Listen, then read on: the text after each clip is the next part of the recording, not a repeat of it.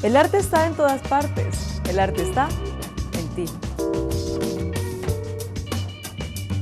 Expresiones artísticas, apreciaciones, colores, música, danza, voces, movimientos. Imágenes que captan la historia. Movimientos del mundo, cultura y arte. Aquí en Sala de Arte.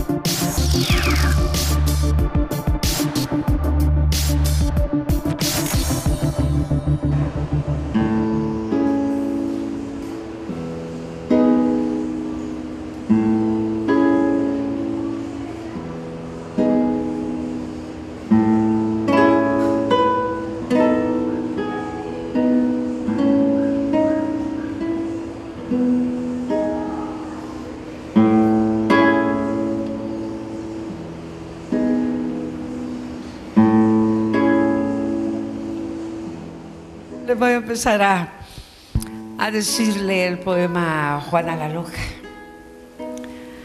Estoy loca porque nadie podrá darme distancias, ni límites, ni futuros.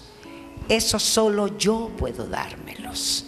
Quiero que todos y todas se enteren que estoy loca por no encontrar lo que yo buscaba.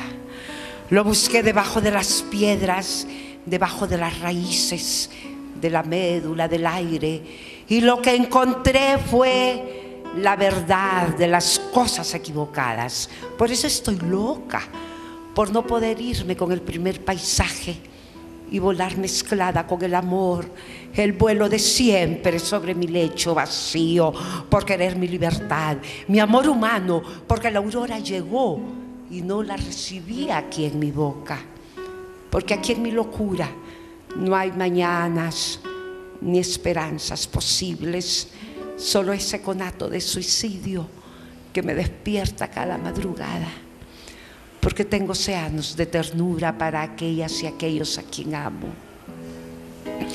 Estoy loca porque amo a Dios y admiro a Mars, porque salpicaron de lodo mis pupilas límpidas mientras esta agonía de dolor siempre quiere acostarse conmigo. Sí, estoy loca de dolor, de amor, de rabia por mi impotencia, por mi resistencia de cucaracha por los gemidos que golpean la ventana de mi alma. Mi locura, señores, es encontrarme pequeñas criaturas enterradas bajo pedazos de cartón, como decía mi amigo Ramón, el del estanco de la esquina. Estos niños cuando se levantan parecen golondrinas con muletas. Esa es mi locura, contrariar a chicos plásticos que leen vanidades. Ay, cromos, estilo y de remate. Lo único bueno en el Heraldo es Condorito. Estoy loca porque salpicaron de lodo mis pupilas límpidas mientras esta agonía de dolor siempre quiere acostarse conmigo. Estoy loca porque amo a Beethoven, a Hermann Hesse, a Tchaikovsky, a Roque Dalton, a Morazán y a Valle.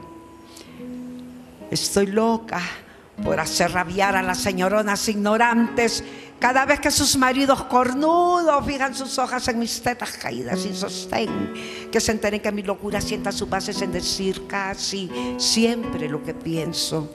Y si a veces callo, es por no herir susceptibilidades o por consideración. Qué esfuerzo, Dios mío. Estoy loca por desenmascarar a la gente su indecencia, por corruptos, ladrones, asesinos, explotadores y vendepatrias. Y sobre todo por aquellos que solo saben señalar, mas no ven el tumor que tienen en su vagina y en su próstata. Y por todas esas cosas que callo y sé, es por ello que soy Juana la Loca. Juana Margarita Pavón, usted es un ícono cultural en nuestro país. ¿De dónde surge esa pasión por el teatro, por la poesía, por las letras? Bueno, yo creo que ya eso es un talento, ya uno ya nace con él. Nace con él, eh, gracias a Diosito lindo que me dio ese talento, sobre todo porque disfruto lo que escribo y cuando actúo también. Y desde niña siempre fui así, siempre me gustó escribir lo que yo pienso. Y bueno, siendo la sociedad como es, Juana, ¿se ha hecho difícil ser una mujer artista en Honduras? Eh, generalmente aquí en Honduras a los artistas tienen que tener una conducta muy, muy modosita, fingida, hipócrita, ¿verdad? Y entonces para mí era, me, me fuera muy difícil porque yo Siempre he sido transparente en las cosas en las yo digo lo que pienso. No soy hipócrita, odio la hipocresía y la mentira también, ¿verdad? Pero sí, ya, con el tiempo, ya, ya la gente ya valora mi trabajo y, y, tengo un buen público que amo y me aman también y les fascina cuando yo lo que escribo y cuando, cuando interpreto mi poesía. Pero es difícil siempre. Muy difícil abrirse campo, sobre todo que aquí no hay ayuda estatal. Sí, aquí los que pagan es el público que me va a ver, ¿verdad? O cuando hay alguien que me contrata también. Y debido a esta irreverencia, se puede decir, ¿siempre ha tenido una barrera social? Sí, pero la he roto se han dado, pero solo para los, mm, para los esos que están llenos de prejuicios. Los que están llenos de prejuicios, porque yo tengo varias amigas y amigos que tienen una conducta no intachable, no, pero que no son como yo, que eso tenemos, yo tengo una conducta descarada, ¿verdad? Y toda mi actuación. Yo no ando cuidando mi imagen, ni ando, y no tengo tampoco una, una autoestima inflada, ¿verdad? No, eso de que yo, yo, yo no. Pero sí, hay mucha gente que se asusta, ¿no? Pero ahora no, ya me conocen, antes se asustaban, ahora ya no. Yo disfruto más bien desconcertar a la gente. Para mí es algo delicioso que la gente se ponga como condorito cuando yo digo algo, ¿verdad?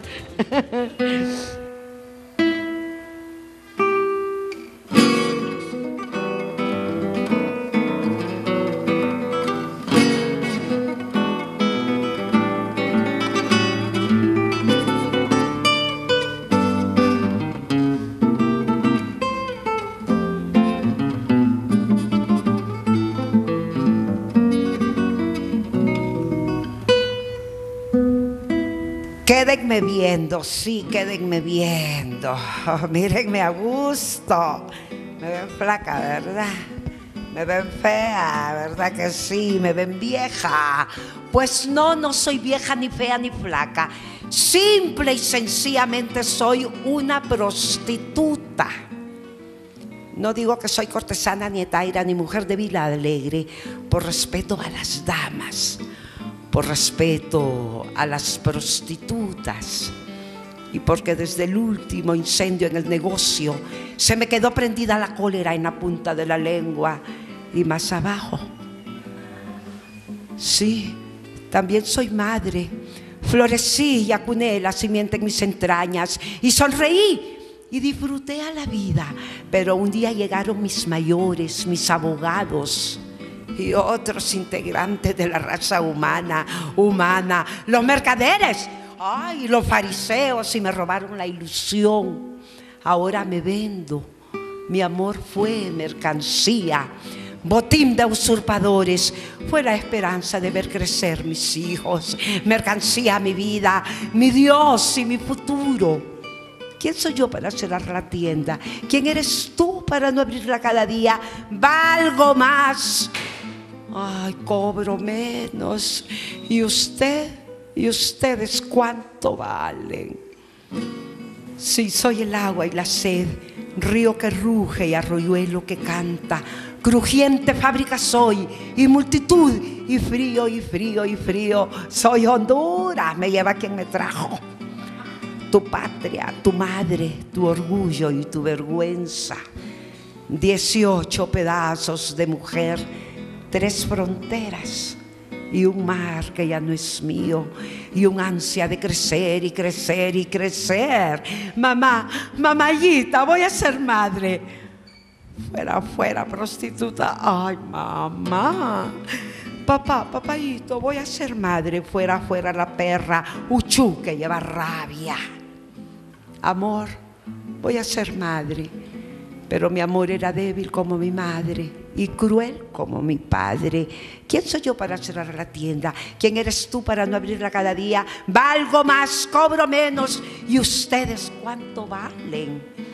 Esa soy como vos, madre yo, madre tú, hija yo, tú también. Soy hermana y amiga y abrevadero que soy. Soy Honduras. Me venden me trasiegan, me dividen, me envilecen, abren mis piernas. A mis hijos les llaman enemigos, los esconden, los asesinan, los extrañan, los vuelven contra mí y contra sí. Pero soy madre amorosa. Amo a mi hijo Abel por ser la víctima y a mi hijo Caín por victimario. Desde este burdel grito a todos los pueblos de la tierra mírenme aquí destruida, reconstruyanme, devuélvanme la honra, paguen a mi patrona la cadena, el anillo y el vestido que me esclaviza, sáquenme de este horror, deliro, siento frío y calor, la calentura, la tisis, la sífilis, la malaria y el sida. Juana la loca va libre, va libre, libre y loca por las calles de esta cárcel.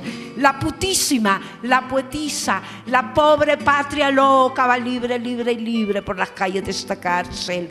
Honduras y mi amor guillotinado, Honduras y mi piel, la patria y sudor, mi mercancía. Hondureños, hermanos todos, cerremos el burdel aquí entre todos y abramos para siempre una patria digna, redimida y respetada. Serán muchos Honduras tus muertos, muchos, pero no todos caerán con honor. Tu bandera, la tuya.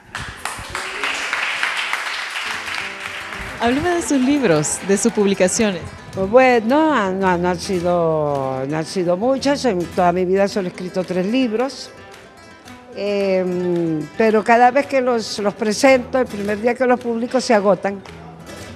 Se agotan, pero ahora ya pienso ya escribir ya la historia de mi vida. Y van a ir también aunados un montón de poemas que han estado en los libros que ya edité, porque la gente todo me lo pide, en las librerías aquí de Tegucigalpa todo mundo, ¿y dónde están tus libros, tus libros? Si quieres, te los digo yo, les digo.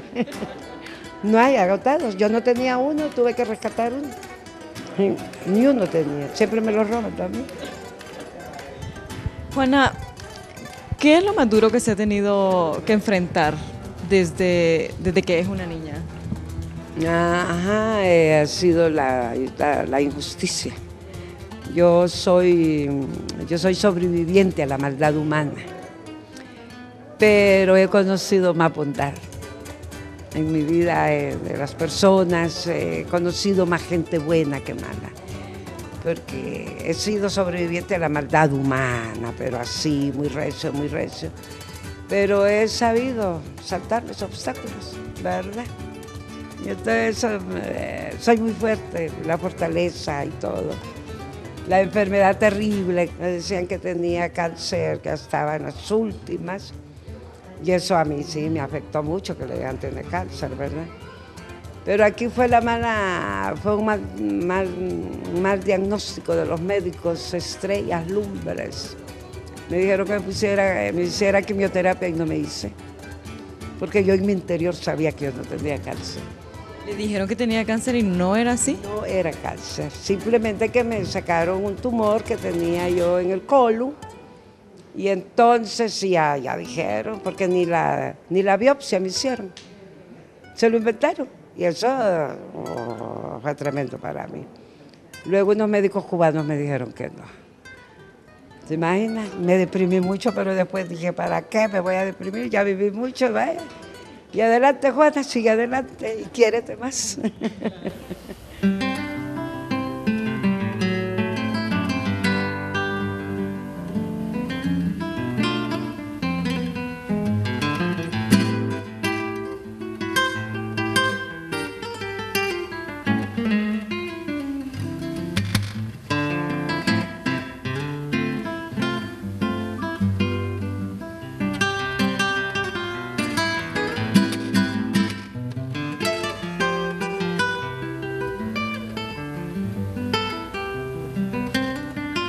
dos, cien miles, así vamos las mujeres por aquí, aquí donde nos tocó pernoctar para siempre.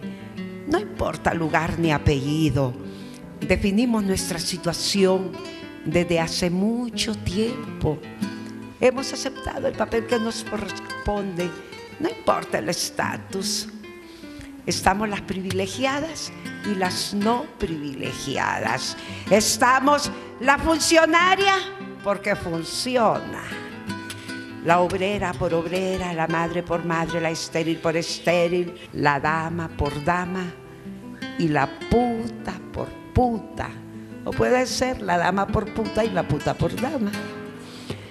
Hacemos maniobras con el tiempo ligadas a esta inercia que llamamos vida.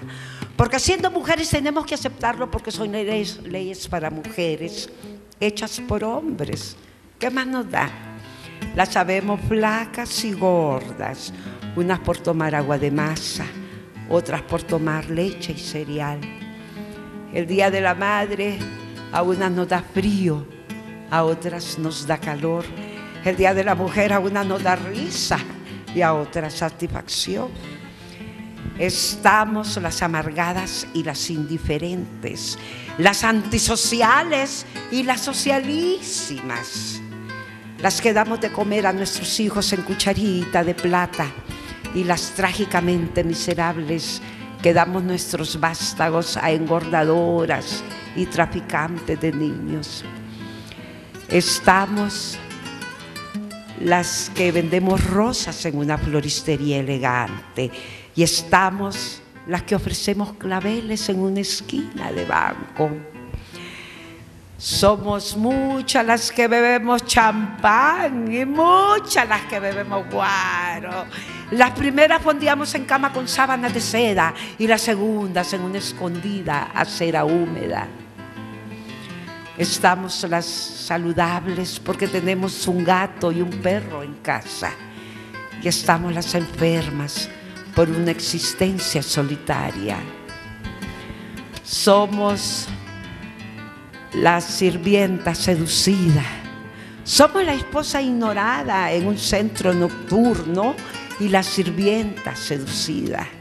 Así vamos todas nosotras, nosotras, esos sujetos. No importa si somos abogadas, si somos verduleras, si somos campesinas, si somos obreras, si somos teatristas, si somos pintoras, si somos poetas, si somos primera dama o última dama.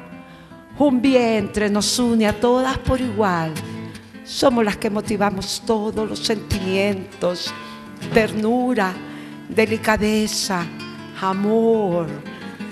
Aunque haya en cada una de nosotras una gata furiosa o una gata sumisa, somos las que estamos paradas en el tiempo y latimos y latimos y latimos. Somos río, mar, jungla, sol luna y pulmón. Somos patria. Yo siempre he pensado que Honduras tiene nombre de mujer. Estas letras suyas que son tan conocidas dentro y fuera también del país, ya lo vimos con una obra de teatro que le escribió un salvadoreño, Ah, la estuvimos viendo en este mismo teatro. ¿En qué se inspira, Juana? Eh, bueno, es que mis frases son famosas, ¿no? Y a veces me sale, me sale, yo tengo esa facilidad de, de- de- tengo un ingenio, tengo ingenio, para todo le pongo algo. Así es la vida, mi amor. ¿Cómo cree usted que está el nivel del arte y la cultura en el país? Ah, sí, hay mucho talento, bastante, sobre todo los jóvenes ahora. Yo me quedo pero con la boca abierta y en todas las ramas del arte. Poesía, música, danza, teatro. Todo es increíble. Lo que pasa es que el apoyo del gobierno, ¿no? Aquí apoyan más, apoyan más la política, el fútbol y toda esa cosa. Pero algún día va a haber alguien que se interese por, porque, para rescatar a eso, ¿verdad? Descubrir valores nuevos. Eso es lo menos que le ponen aquí eh, caso a la cultura. Aquí sí. Y no siendo fatalista ni con el ánimo de, de desearlo jamás. Ojalá que dure usted unos 150 años mínimo. ¿Usted está consciente que será inmortalizada? ¿Usted ya lo es y que nunca será olvidada? ¿Está consciente de eso? Sí, estoy consciente que me van a recordar, ¿verdad? A mí me dicen, me dicen, ¿y no te has muerto, Juana? No, le digo, Diosito me tiene aquí para, para hacer sufrir a los hondureños con mi, con mi presencia. Pero sí, por algo, por algo me van a recordar, ya por las cosas buenas o por las cosas malas. Preferiría que mi hombre tuviera por nombre Fernando, Felipe o Federico con la F de felicidad no forzada, con esa letra de fidelidad y no de futuro precisamente. No me importaría el color de sus ojos, ya fuesen verdes, negros o azules, que brillaran para mí, que su mirada me penetrara toda, que fuera más alto y más grande que yo, que no fuera gordo ni estúpido, que odia el fútbol y la política vernácula. No me importaría que fuera bien donado o mal donado, que fuera encantador y generoso. Me agradaría que mi hombre se bañara una vez al día y tres veces diarias si viviera en Choluteca. Estaría orgullosa de que mi hombre tuviera las manos grandes y limpias, que su pasión fueran la música, el cine, el guaro y los libros. No permitiría que le mirase las nalgas a otra mujer y mucho menos a otro hombre. Me gustaría que se levante temprano a cocinar y que enseguida lave los platos. Que no ronque ni que aviente aires cuando duerme conmigo. Que sepa leer y escribir. Que no piense en su madre cada vez que le doy de mamar. Que me mire directamente a los ojos. Que no me mienta, que no me grite, que no sea chismoso como sus amigos. Que me eleve a más de cinco orgasmos. Que trabaje, que platique conmigo, que me ponga atención cuando estoy hastiada de todo. Que no me compare con nadie, que recuerde que soy única, que no le importe mi ciclo menstrual y que tenga siempre en mente que sigo siendo mujer aún con mi menopausia. Que no entre en contrariedades cuando le descubro un condón en su mesa de trabajo. Que asista a la catedral de vez en cuando, no para orar, sino para pedirle perdón al Altísimo por todo lo injusto y grosero que ha sido conmigo. Que analice que razone, que piense que todavía existo. No me gustaría que mi hombre fuera periodista, diputado, ni cobarde. Que me diga de vez en cuando, viéndolo bien, no sos tan fea, tenés unas manos bellas. y sentirlo tierno y amoroso cuando reposa sus manos en mi pecho, que me deje soñar y sentir, que me deje ser libre para amar a un Carlos, a un Roberto o a un gato, que me respete como yo le respetaría, que comprenda que la culminación del amor es todo eso, el respeto. Quiero que mi hombre no critique mis ansias de fumar y beber, que no me recuerde al día siguiente después de una borrachera los cagadales que hice, que me devuelva los 20 lempiras que le presté ayer, que no me joda, que cante en el baño sin gastar tanta agua que duerma desnudo si no está en San Marcos de Colón, que ame a todas las mujeres, que no sea soberbio, petulante o mentecato, que no meta las nalgas cada vez que está bravo, que no le mienta la madre, a mi madre muerta, que no vea el reloj cada vez que quiero decirle algo importante, que se dé cuenta que me gusta más verlo vestido de jeans y tenis a lo gringo que con ese saco y esa corbata. Que sea el primero en aplaudir cuando interpreto el poema que a él más le gusta y que aplauda más fuerte cuando sea testigo de una acción mía digna y valiente.